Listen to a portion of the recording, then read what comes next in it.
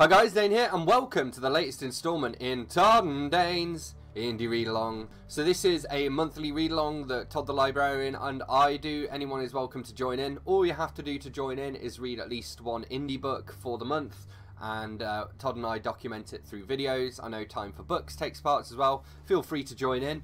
This month, I'm going to be doing a quick review of The Method by Duncan Ralston. We have here from the author of Woom and Salvage.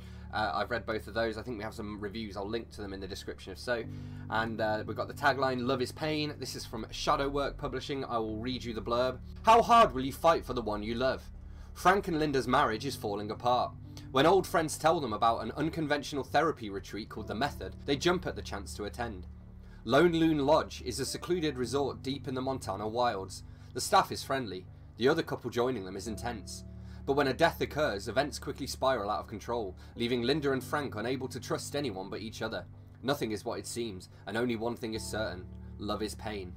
We have a quote here from James Newman, author of Animosity, Ugliest Sin, and Odd Man Out. He said, the method is one of those stories that subverts the reader's expectations again and again. And that's a pretty good description of it because it is. It's kind of a thriller novel along the lines of things like uh, Girl on the Train or Gone Girl. Except for me, this reminded me more of We Are Lucifer by Amy McLean, which again, I'll link to my review of that. Uh, another kind of uh, indie release. They're both repped by publishers, but uh, I mean, I count it as indie if it's not Random House or whatever, basically. But I don't have the greatest history with thrillers, really. And I always, I don't know whether I expect more than they're able to deliver or something like that, but I always kind of tend to feel disappointed. But that didn't really happen with this one, especially because some of the sort of twists and turns, especially towards the end, are so far off what I expected that it it really took me by surprise, I guess. It almost I don't know, it almost feels like it switches genres at times, you know? There are some it definitely goes from thriller into kind of almost Blair Witch style horror, but then there are kind of not quite sort of sci science fictional slash mysticism parts to it, I guess. I want to go in and uh, highlight some of the passages that I enjoyed. So, what have we got here? So, we have this thing as well as they kind of arrive at, uh, you know, the place they're staying at to undergo the method, which is this sort of treatment by this kind of unknown figure. They never really meet the guy who's behind the method, who invented it, you know. But uh, they arrive and uh, we get this little conversation here. We think we can only take so much pain. Alex let his hand fall to his side. That's what we think, but the well always runs deeper. That's that's pretty deep. Frank noticed he'd just repeated Alex's sentiment and chuckled awkwardly. Want some free advice, Mr. Moffat? This weekend will make you or break you. Fight for what you love. If it's worth it, you'll know.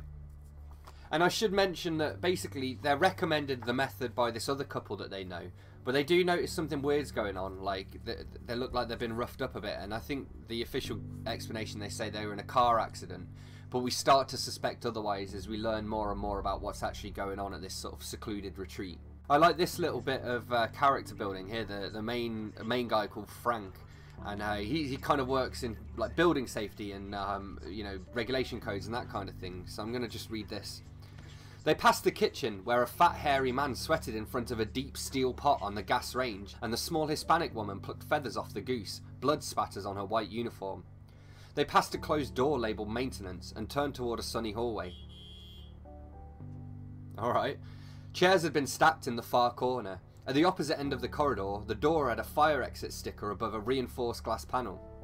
This door should be closer to the kitchen if it's a fire exit, Frank said. And I didn't see a single extinguisher. Frank. Well, it's true. I like this little paragraph as well. So, and and this reflects basically they're in this retreat and they're kind of being held there against their will. And um, there's a TV on, and it's showing One Flew Over the Cuckoo's Nest. So I shall I shall read it. The air down here smelled like recycled farts to Frank. He noted the TV on a mount behind the games tables, where Jack Nicholson, playing Rebel Without a Cause Randall McMurphy, strangled Nurse Ratched while the other patients gawped. Ha! Frank barked. Linda raised an eyebrow in his direction. This whole goddamn place is insane, Frank said and laughed again. Just a nice little bit of intertextuality there. Use a word I learned at uni, why not? We also get this really interesting bit at the end that's almost based on like the Milgram experiments where they got people to electrocute people even though they thought they were killing them. And basically at the end, the couple has to make their choices. So they both kind of think they can sacrifice themselves to let the other one go. And it's interesting to see the way they go about it and then there's just this really really cruel moment of revelation that I don't want to spoil it for you guys because um, you know I- am assuming because it's an indie book you haven't read it, but you definitely should. I really enjoyed it. I gave this a pretty solid four out of five, maybe even a four point five or a four point two five. I'll give it that. Why not? Uh, really, really enjoyed it. It's probably the most enjoyable thriller that I've read. And again, I don't have the best history with thrillers, so so make of that as uh, uh, as you will. But uh, yeah, definitely recommend checking it out, especially, like I say, if you enjoy thrillers. So there we have it. That's what I thought of The Method by Duncan Ralston. Don't forget to let me know in the comments if you'll be checking this book out. And if you do read it, let me know what you think of it. Hit that like button if you've enjoyed this video. Hit subscribe for more. And I will see you soon for another bookish video. Thanks a lot. Bye-bye.